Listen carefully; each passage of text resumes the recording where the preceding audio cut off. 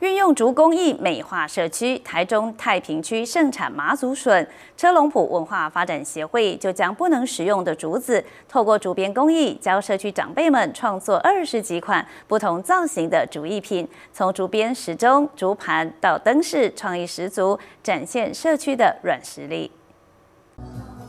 拿起竹片，十八条一组，运用最简单的十字编法制作造型竹盘。太平车龙埔文化发展协会运用在地盛产的麻竹笋来堂竹梦课程。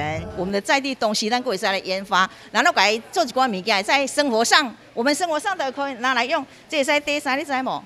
用一个细盘，然后堆菜啊，很漂亮。啊，这拢是毛钉啊，你看，像这火用起来嘛，拢足水啊，很多很热闹。打开电源，你没看错，这款竹子灯加上麻绳灯泡，造型十足。另外还有编织款的小灯，也是超讨喜。桌上摆满各式竹工艺，从最醒目的竹编时钟、竹笼，还有竹燕子，到各式装饰花盆搭配绿色植物，超过二十几种竹工艺创作，都是由长辈一手包办。废物利用，把那个剪掉那个竹笋老的那个。竹子哦，剪掉，明年才会生嘛。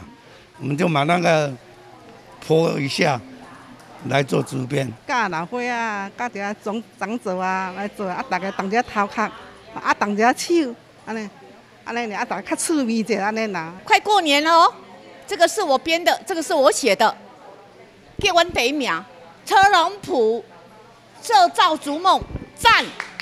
自豪地拿起竹编春联，招财进宝。长辈不止编织，也写得一手好书法，实际挂在门上，喜气洋洋，逐梦有成，美化社区。